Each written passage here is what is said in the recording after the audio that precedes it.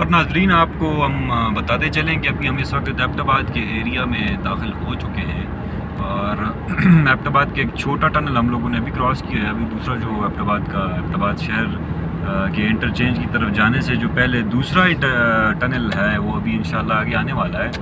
उसकी भी हम आपको जो है ना, वीडियो इंशाल्लाह बनाएँगे, आपको दिखाएँगे, वो भी।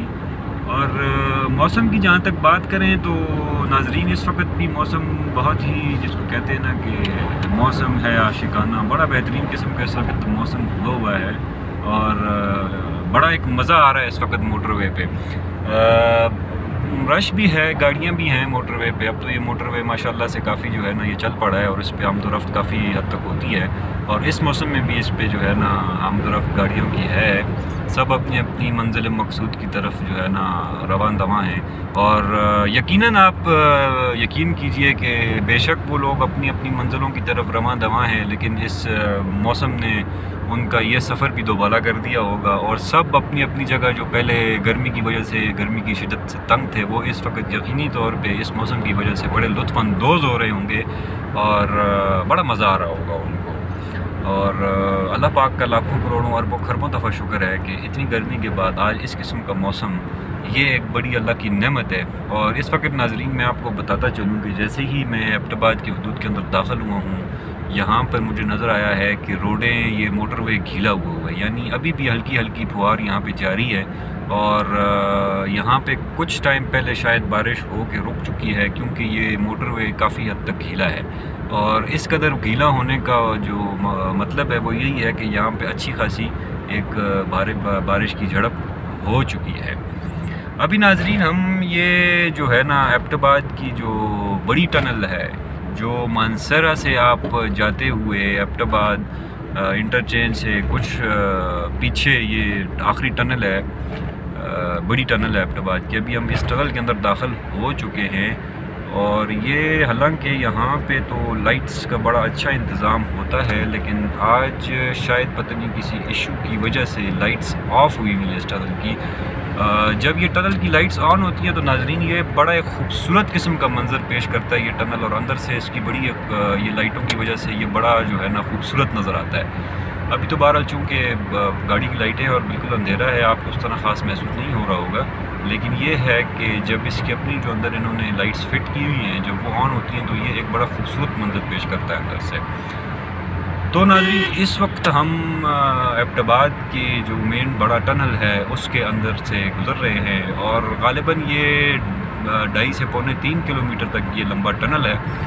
जो कि हज़ारा मोटरवे पे इस इस्लामाबाद वाली साइड से आते हुए पहला टनल है और मानसरा वाली साइड से जब आप मानसरा से निकलते हैं तो पहला नहीं तो दूसरा टनल है। और इस टनल के क्रॉस करते ही आप जो है हवेलियाँ का इंटरचेंज आता है, जिससे आप उतर के हवेलियाँ से एबटाबाद की जानब रवाना होते हैं।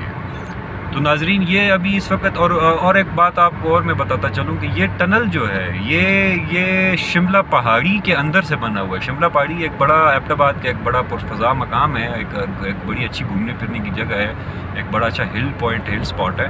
और जो है ना, ये टनल उसमें बना हुआ है नाजरीन अभी इस वक्त बारिश बाहर लग चुकी है और हल्की हल्की बारिश है, बड़े मज़े की बारिश है। अभी हम टनल क्रॉस किया है एबटाबाद के एरिया में है। ये नीचे सब एबटाबाद के गाँव हैं, मुख्तलिफ़ घर हैं अब्टाबाद के शहर के। और शिमला पहाड़ी के एरिया में से हम निकल चुके हैं बाहर। और ये हम अब टू वर्ड्स आगे हवेलियाँ की जानब रवा दमा हैं। जो इंटरचेंज है, वो सलहट के मकाम पे है, जो कि हवेलियाँ और अब्टाबाद का एक मिड पॉइंट है। तो ये इंटरचेंज वहाँ से निकलता है। अगर आप वहाँ से निकल के आप राइट हो जाएँ तो आप टू वर्ड्स हवेलियाँ निकल जाएँगे और अगर आप वहाँ से निकल के लेफ़्ट हो जाएँ तो आप सलहट के मकाम से होते हुए आप एबटाबाद शहर के दाखिली दरवाज़े से दाखिल हो जाएँगे एबटाबाद में और एबटाबाद में दाखिल हो जाएँगे।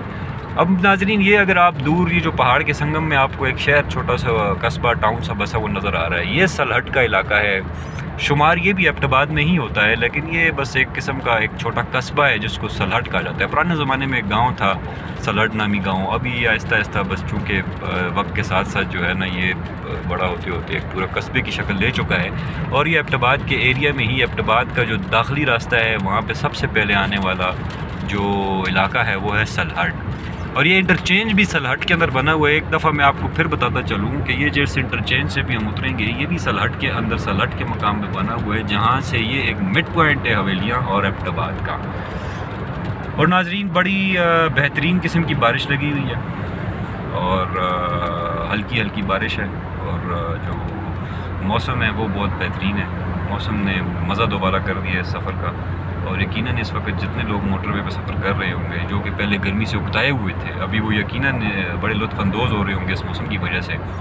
और बस मेरी अल्लाह पाक से दुआ है कि अल्लाह पाक हम सब के सगीरा कबीरा गुनाहों को माफ़ फरमाए और हम पर अपनी रहमतों और बरकतों वाली नाज, बारिश नाजल फरमाए। और इस गर्मी की शिद्दत में अल्लाह पाक जो है ना वो कमी नाजल फरमाए और अल्लाह पाक हम सब पे अपना फजल करे अल्लाह पाक हम सब का हामी नासर है सलाम